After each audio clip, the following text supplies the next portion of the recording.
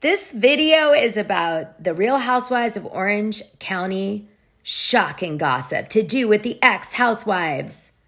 I do have a few I want to talk about. They've had so much crazy stuff happen, I had to. And some are faves of the fans and some aren't, but it was worth telling you this gossip or I wouldn't bother making a video over it. So please like, subscribe, and hit that notification button and enjoy this journey into some of the juicier stuff that's happened with some of the cast. And it will give you some insight into season 17 in the process. So by the end of the video, you'll see that there's a lot that still applies to the upcoming season that's coming out in March. Usually it comes out in March 2023. So get ready. Like, subscribe, and hit the notification button. You never know what you're going to get on my channel. Let's get started. By the way, you guys, I'm going to put in the description the time codes for this YouTube video if you want to jump around because I'm talking about a few different women. It's no secret that the last few seasons of Real Housewives of Orange County have not been popular with the fans. And so Andy's been scrambling to try to fix the problem. They really brought out the big guns. Uh, we've got Taylor Armstrong doing a crossover from Real Housewives of Beverly Hills. We have Vicki Gunvalson making appearances. We have Tamra Judge back.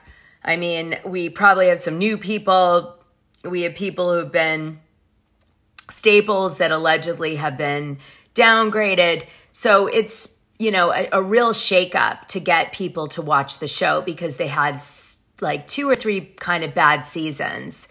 Um, people weren't that into it. They were losing interest. And this was the anchor franchise for Andy Cohen. It's what, you know, started it all. The first person I want to do a, a T touch base on is Braunwyn Wyndham Burke because Braunwyn uh, was in Miami Beach at the same time I lived there. We lived in the same building. Some of her kids went to the same elementary school as my son, and she served on the PTA for a, a short period of time at the same time as me. Anyway, what I want to say is the Braunwyn Wyndham Burke that I saw on TV and that has followed is like a different person to the person that was in Miami Beach. I'm so confused. Now, they were, I heard, a bit of a wild child. There were rumors that they swung a little and so on, but I not like what happened is shocking. That's all I have to say. But I mean, you know, so is life in general. So anyway, I wanted to talk about Braunwyn because if you watch her Instagram feed, you know, she's very serious with she has a new girlfriend. She's decided that she's fully gay. She divorced her husband after 23 years. She's a proud LGBTQ community member at this point. Um, and but if you look at her feed, it's so confusing because she seems to be having this great life, although she struggles from time to time with stress and she admits it on her feed. She seems to be traveling. She seems to be in like the Carolinas, you know, right now. And she's you know, she doesn't look like she's struggling financially in any way. Well, I was surprised because it turns out that she had filed in mid-December a request to the court for child support of 10,000 a month from Sean for her children because she wasn't getting any support from him allegedly and she had like $2,000 in her bank. So, uh, everybody in Miami Beach believed that Sean Burke was really rich uh, when I did a dive about him for the Patreon, his work is very strange. Um, I'll share a little of that here in a minute. But I, it's really difficult to determine their financial situation. I guess that's what I want to say. Now, this is what was written in The Sun. I tried to download the court documents directly, but for some reason, the court is restricting their download, maybe at the request of Sean. I don't know. But it says Braunwyn, who was a cast member on season 14 and 15 of Real Housewives of Orange County, wrote in court documents I'm unemployed except for two years during our nearly 23 year marriage. I've stayed home to care for our seven children. I've relied on the respondent for all financial security since I was 20 years old. I've relied on respondent to make all financial decisions for 23 years and I've effectively been kept in the dark regarding the true extent of our business interests and assets. Ah, very interesting. Recently, respondents stopped providing any support to me, and I'm unable to provide for my own support or the support of our children. I have had to rely on a family member to assist in meeting my basic living expenses and even expenses for our children. In a filed income and expense declaration, the Real Housewives notably admits to having just 2900 in cash and a checkings and savings account. She said her average monthly expense costs are 25,750 to 10,000 of which is for rent in Newport Beach, California. The mom of 7 who's very involved in the LGBTQ community and is a big advocate of sobriety compared her income to her former spouses. In the court documents, Braunwyn says she believes Sean 49 earns more than 65,000 per month gross income working as president and COO for one company. She also says he receives income of 10,000 per month from another company. See what I mean? This is Sean's current LinkedIn. Okay, business strategy and leadership expert in economic transformation technology, ED tech, MED tech, LOT AI, and SaaS. And then he says he's positioned CEO, chief sales officer, business owner, head, vice president, president, business development. It says subject matter expert, information tech, SaaS, blockchain, cryptocurrency, tokens, marketplace, financial operations, and cybersecurity. And then he does healthcare, finance, etc. But what is his job? Do you know what I'm saying? like, huh? What's your job? How are you making sixty five thousand a month plus another ten grand? That's what I, I want mean, to know. To me, it looks like he's a consultant, and he is an expert at you know crypto related items, blockchain, etc., and NFTs, SaaS. All that means is you're an expert at setting up cloud solutions for licensing, so people you know uh, Microsoft functions like that with Word. So that's SaaS. But I'm like, hmm by the way, guys, I used to do tech. That's in this uh, these two episodes of Dishing Drama. Dana Wilkey, if you're curious about my life. I also ran an ad agency, did movies and product placement, and did events for big parties like the Oscars and Sundance and oh, so many things. It's very sus, very sus. Now, recently, she's been posting all these wonderful uh, visuals of her and her husband together in January. So they must have come to some sort of custody and support agreement. I wish I could download the damn thing. I can't yet. I'm, I'm hoping it'll uh, come available. I'll check tomorrow.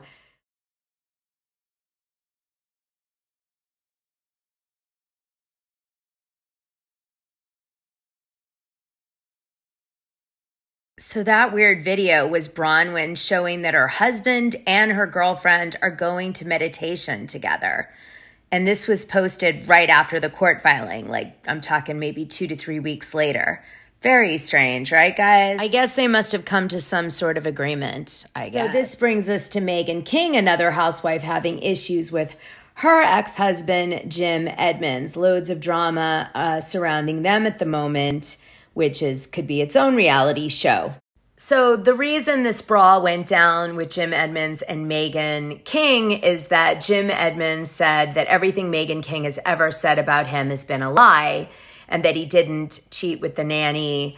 And his current wife, by the way, supposedly is Meghan King's best friend or one of her good friends and they had a threesome and i guess jim preferred her over Meghan. I don't know. Meghan just got some plastic surgery. She was married for like 30 days to a biden. I mean it's just crazy. Meghan is you know a hot mess. I so is jim edmonds. They really should have ended up together but um just two messes together. But here's uh i'm gonna play for you what each person said about the other the good parts Oh my gosh, it's on Hollywood Raw, Dax and Adam's podcast. I love them. Okay, here we go. This is what Jim Edmonds said. Kourtney Edmonds says, I never had a threesome with Meghan, nor was I her friend. Let me play you what she says. I want to know. Sorry, Adam, if you've got. Me Adam, go with no, your question, was, then I'm going to. I want to take them back to like when they met. So go with your question. Yeah.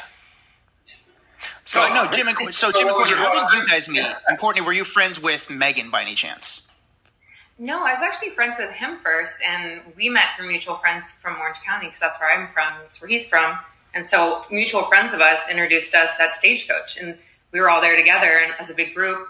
I didn't even know her, and I only met her like a couple of times, and then you know she says that we were best friends or something, and I like stole her husband, and it's like so far from the truth because I never even really knew her. She's from Missouri, so I met her once, twice, maybe three times, and then they you know got married and moved on with their lives, and that was now that. listen. Jim says this is just Meghan. She's kind of crazy, I guess. Let me let you listen. And like this is her well, reality seen, show, and well, she wanted like what, a someone stole my husband. You see what she's oh. done, right? She's blasted the last husband. She's blasted the last boyfriend or two.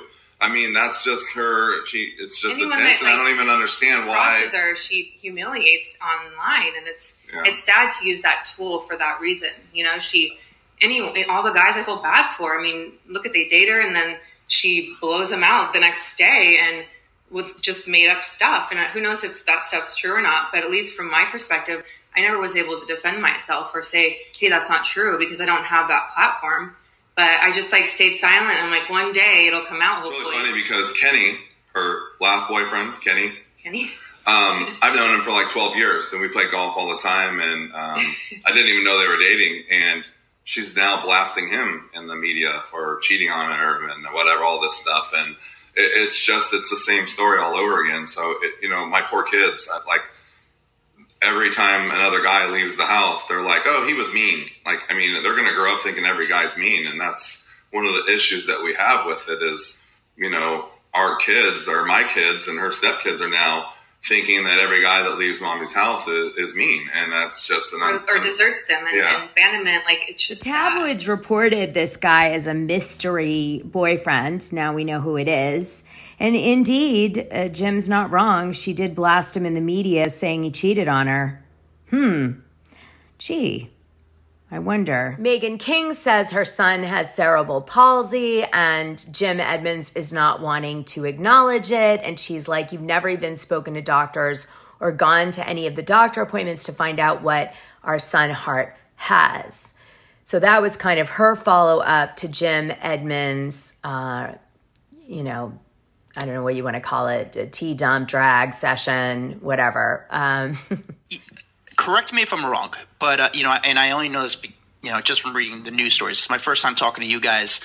Um, it's the first time we all spoke together. But from what I saw in the media, that one of your children, uh, unfortunately, has cerebral palsy. That and uh, I saw her post about that. So that I mean, that's a serious thing. How is it for you guys raising a child? Because I feel like you have to communicate more dealing with a child with that. How is it for you, kind of dealing with that? First of all, he doesn't have cerebral palsy. He has it's called um, PVL, and, and, and, it's kind of like um, it's its own little thing. It's it's kind of the very beginning stages. So it's not technically cerebral palsy because that wouldn't be.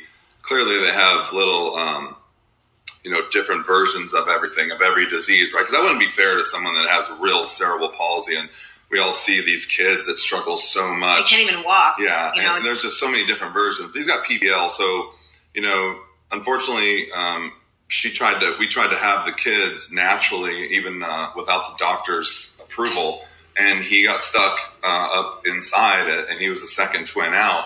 And he got lack of oxygen to the brain, apparently, is what they said. And so I couldn't find any uh, PBL in the stages of cerebral palsy, only project based learning for students. And he got stuck uh, up inside it, and he was the second twin out and he got lack of oxygen to the brain, apparently, is what they said. And so he has issues. He's got some white matter in the brain. It's like softening of the white matter in the brain. And so his learning is um, a little bit, it's a little bit slowed. It was weird because when he was a baby, you could tell he, he was fine. He was quirky, but he would catch up a little bit late, right? Like, so he was like, say, in early stages, he was like two or three months behind Hayes and then he was four months behind, and then he was six months behind, but it was catching up.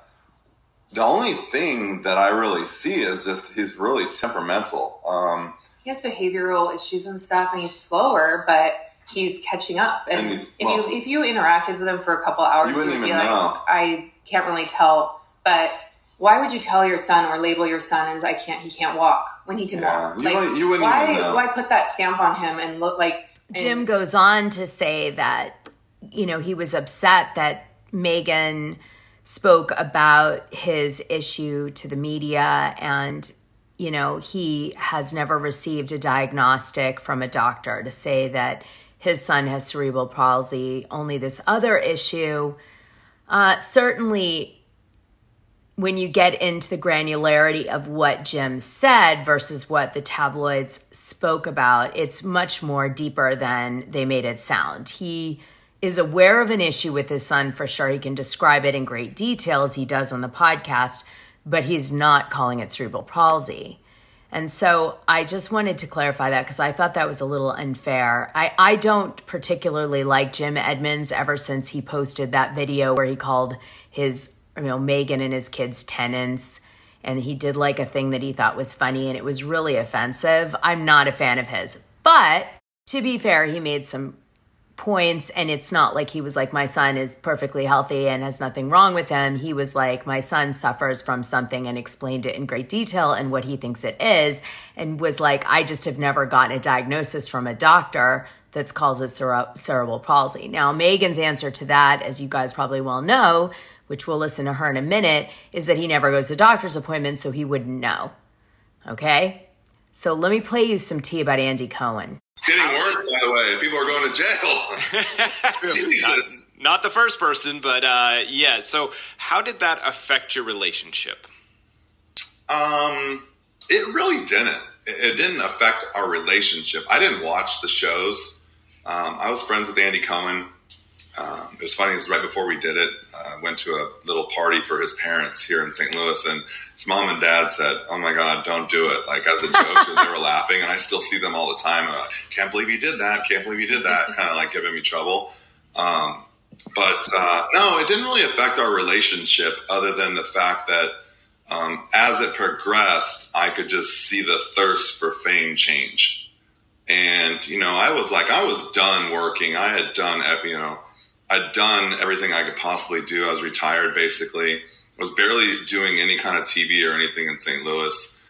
Um, we were going back and forth. We didn't even really, we didn't even live in Orange County. We lived in St. Louis. And, um, so we would fly out. She would stay for whatever, how long the show would go. And then she'd fly back. And it was kind of like the reality, non-reality kind of situation. mm-hmm. But, uh, I could just see the edge and the, the, the, you know, what you would see like, if you got a young kid as a quarterback and all of a sudden he was like, oh, look at me, I'm a quarterback. Look, hey, everyone, I need free dinners and I need, and that kind of just that little twist changed. And I was like watching it going, wait, uh, you need champagne at every dinner now? What, what just happened? Like, where, where did, where did you go? And so I could see that starting to really turn into now what we see today, which is a complete and ridiculous thirst for trying to be famous. Okay, so I think I figured out why Meghan King is into these relationships and makes them so public and everything. And it's not what Jim Edmonds thinks. I think it's that she has a podcast called Intimate Knowledge, which is about sex and relationships. And it's called Shh, it's a show about sex. And in it, the description, it says the Intimate Knowledge podcast returns with Meghan King she had her share of bad dates and even a couple of bad marriages. But it, it, if at first you don't succeed, try again. Each week, we're going to be talking sex life and maybe even talking a little trash. If you want, you can live vicariously through Meghan and all her ups and unfortunate downs. So she has to go public with this stuff because this is what drives people to our podcast, okay? This is totally obvious. Meghan King needs to make money. She can't find a guy to save her, that's for sure, not at this point in time. And when he and when she does, he's going to end up a content on her podcast. So th- this is the conundrum, but now you understand the constant desire to put her relationships in the press that Jim Edmonds says she's thirsty and all this stuff, but it's actually related to creating content on her show. I see it all clearly now. Let me play you something she said about Jim Edmonds' interview I just played you. My nose job that I got, and I was really nervous to post about it. And I, I sent it, this message across living authentically all the time. And I really struggled with how do I live authentically when I got a boob job and a nose job and like I like filler and Botox and all of that. So I was struggling with that. But then, you know, my ex-husband and his wife, new wife, they came out with with a 59 minute bash me session. And I listened to it and it inspired me. It inspired me because I thought to myself, you know what? Who are, who is anyone to tell me who they think I should be, who they think I am, any inconsistencies that they may find in the actions that I take? Fuck them and fuck anyone else who wants to judge so publicly, so elaborately. And so that was what my message was. You know what? This- huh? What? Okay. What, what the hell just happened? That made so little sense what she just said. You're a public figure, darling.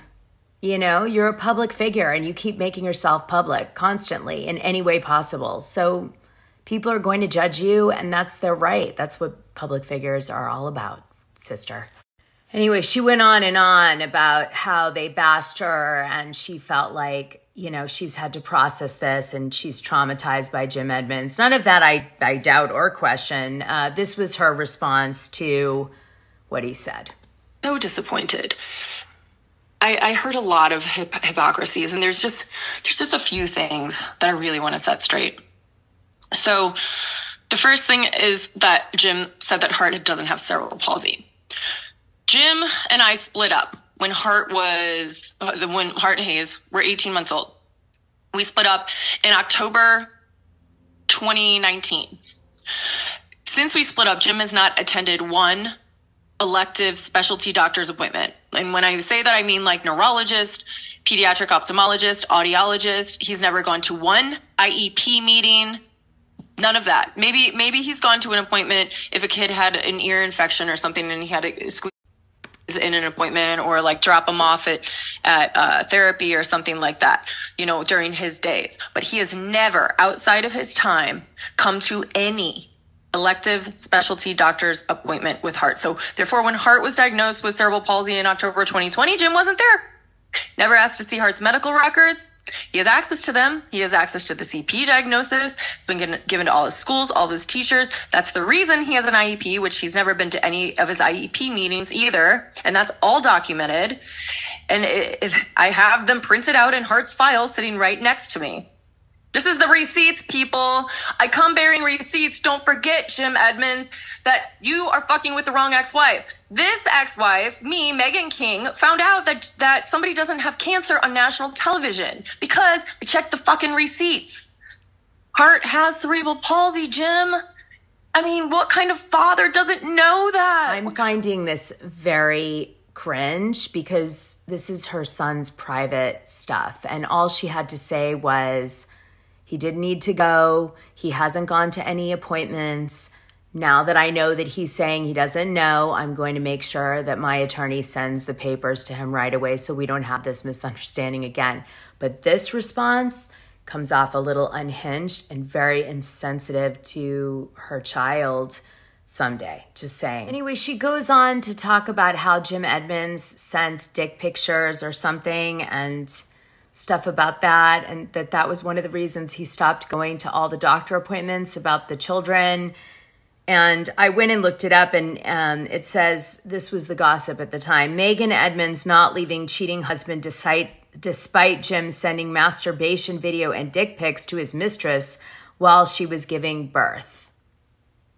But why wouldn't you leave? I don't get it. I'm so confused. So then Meghan points out that Kourtney with a k o'connor um, has images of her doing naked pictures, uh, like soft porn naked pictures on the internet. And indeed, there is a Kourtney O'Connor with a K that looks a lot like Jim Edmonds' uh, wife that is her doing nudie pictures. I'm just saying, this is just insane. Wow. Well, as we say, there are two sides to every story, and this one is no exception. Meghan does say she has mental health issues. Listen. Film model, whatever. You like I literally saw a Playboy video with you. I watched it for research for the show to make sure that it existed. These are truths. Why didn't you guys mention that on the podcast that you did? Also, mental health, Kourtney. Kourtney, Kourtney suggests that I might might be struggling with my mental health. I have struggled with my, with my mental health in the past.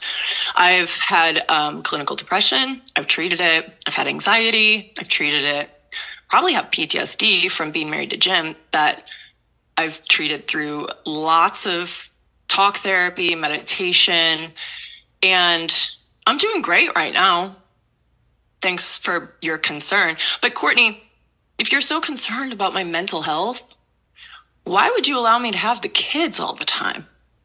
Doesn't that seem a little scary? And what- after listening to her podcast, I'm really struggling to imagine her with Cuffe Owen. I mean, those two really belong together. They're both nightmares. I actually am not a fan of either of them at the end of this video. That's where I ended up. So I also wanted to do a quick touch base on Gretchen Rossi. She is going to be on Ultimate Girls Trip season four, which will be out a long time from now. Um, but anyway, she's, you know, there's a lot of recycled cast members in this particular um, season. They'll probably have some sort of theme that makes that make sense, right? Um, but Gretchen uh, is back on TV. Let me tell you a little bit about what she's been up to. Oh, it's Ex Wives Club. That's the theme. Come on, couldn't do better than that. so Gretchen is still with Slade. Isn't that amazing? Still with Slade. They never got married, but they stayed together. She was supposed to marry him back on the show like a million years ago, but uh, I guess they never pulled the trigger. So she's just with him. Their daughter is so cute. Her name is Skylar Grey. She's one, and that is Slade's child with Gretchen. I actually met Gretchen at this Christmas party. She was so sweet. Nothing like you get the feeling of on the show, uh, which was strange. She's like in real life really, really nice, like overly nice. So it was kind of a surprise. Oh my God, is she wearing the same dress in the Christmas picture from this year as she did at Kyle's Christmas party like 10 years ago or 11 years ago? Wow, she really likes that dress.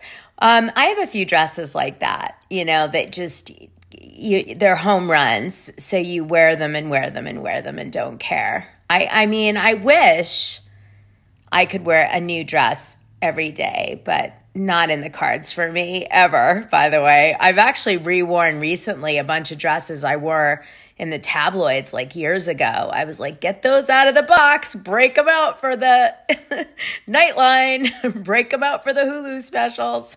Lord knows I don't want to be the pot calling the kettle black. you know, if you don't have a lot of money, that's what you got to do. I don't know. Maybe Gretchen needs to do it too. I don't know what her financial situation is. All right.